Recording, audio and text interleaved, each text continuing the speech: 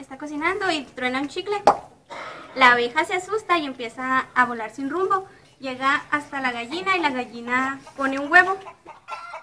Este huevo hace que, se, que la canasta baje y suba a la puerta de la jaula del ratón. El ratón empieza a caminar por el caminito y llega hasta la botella y la tira.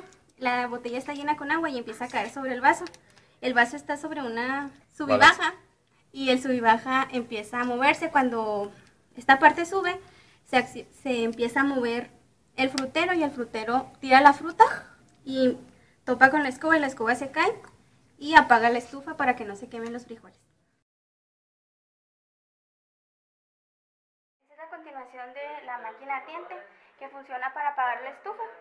Inicia cuando una señora truena un chicle y la abeja se asusta, pica la gallina, la gallina pone un huevo que cae en la canasta, la canasta mueve la puerta de la jaula y sale la pelotita que va por el túnel. El túnel llega hasta un bote y la pelotita cae. Cuando cae empieza a hacer presión para que caiga el agua.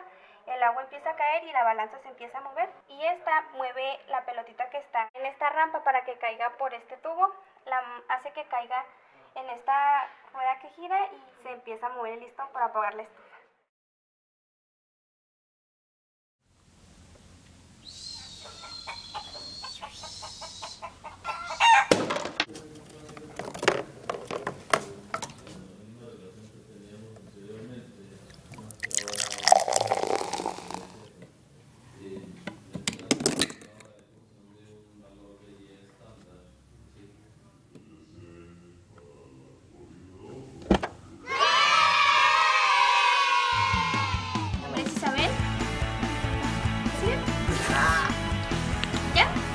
Es Isabel y Toma uno.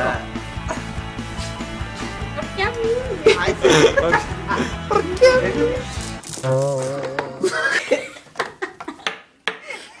Es que necesita algo. Panchito mejor conocido como el matagallinas.